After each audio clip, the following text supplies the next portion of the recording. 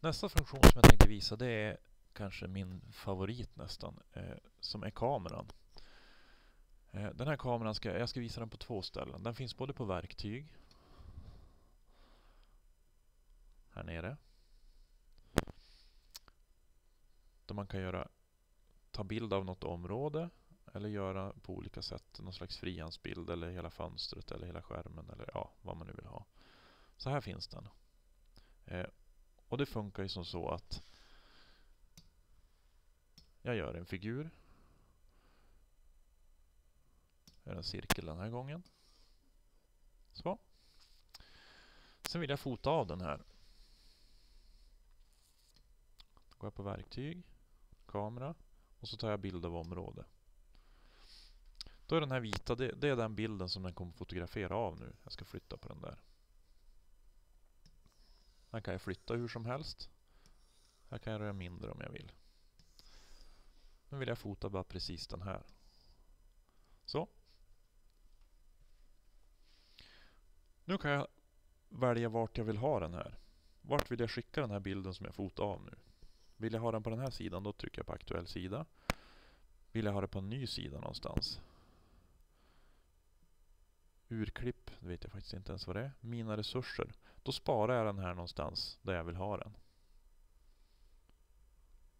Och det där vet jag inte heller. Det kan vara att man delar med någon annan kanske. Om jag tar på aktuell sida, klickar jag där bara.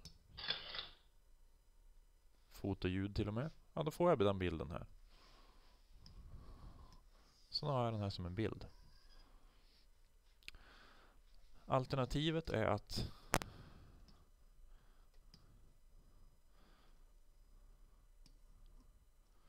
jag vill lägga den här till mina resurser till exempel.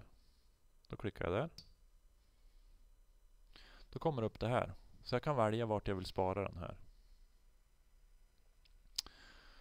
Och jag vill spara den i dokument. Ja, jag vill ha den där bara.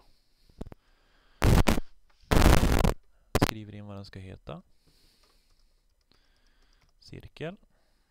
Och så kan jag välja vilket filformat. Och jag vill ha den som JPG. Och så sparar jag den där. Så. så nu ska den finnas här. Så om jag går ur det här programmet nu. Så ska jag kunna söka efter den här. Nej, det var ju dumt. Ja, ja. Den ska ju finnas på dokument. Cirkel. Och där har vi den. Så då öppnar jag den bara inom fotovisare.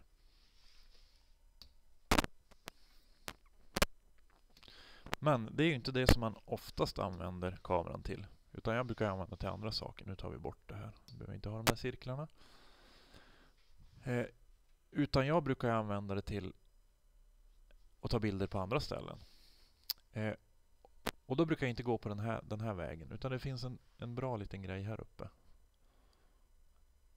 Därför att det som händer då är att om jag går på den där så kommer en liten grej här. Som jag kan använda. För här finns en massa funktioner som jag kan använda i andra program. Så om jag vill ha kameran och så vill jag göra sånt här område igen. Då klickar jag där. Så då kommer det här ut, upp. Eh. Men jag vill ju inte vara här. Oj. Så vi ändrar det där. När vi är i det här läget, då går man in på det där man vill vara. Ja, vad ska det vara för någonting då? Ja, men jag kanske har något Word-dokument här som jag vill kolla. Ja, se här har jag någon grej. Eh, vi tar upp någonting här.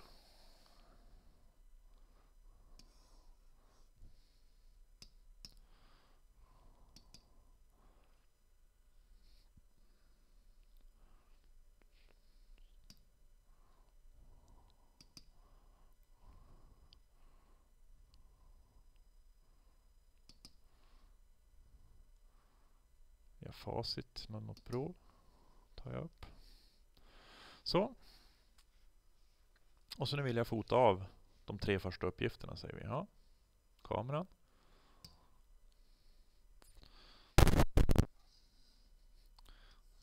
Det vart en liten bild. Men nu kan jag flytta den där.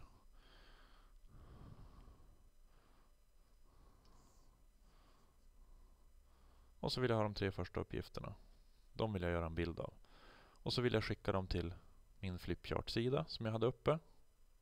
Eller spara den någonstans. Jag vill spara den där på min sida. Klicka där. Men nu har jag inte kommit tillbaka dit. Hur gör jag det då? Jo, då går jag in på den där. Och så där tillbaka. Då kommer jag tillbaka till min Activeboard-sida eller flipchart. Klick. Och då har jag fått en bild här. Som jag kan göra som jag vill med. Om jag markerar den då kommer det här upp. Jag gör den större. Mindre. Som jag vill. Eller bara ta tag i den och flytta den någonstans. Så det är väldigt användbart verktyg skulle jag vilja säga. Framförallt om man skapar någonting som man vill göra. En flipchart om